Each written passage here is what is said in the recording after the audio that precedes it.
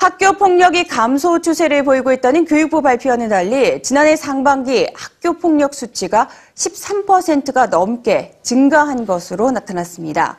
국회 정의당 정진호 의원이 교육부로부터 제출받은 학교 폭력 통계 자료에 따르면 작년 상반기 전국 초중고교 특수 각종 학교의 학교 폭력 심의 건수는 모두 1,662건으로 2013년 상반기 9,713건보다 9.8% 증가했습니다.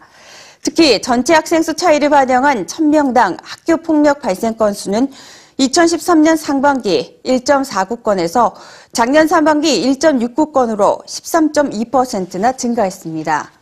앞서 교육부는 작년 11월 2014년 2차 학교폭력 실태 조사 결과 작년 1차 조사 때보다 피응답률이 0.2%포인트 낮아졌다며 학교폭력이 감소 추세라고 발표했습니다.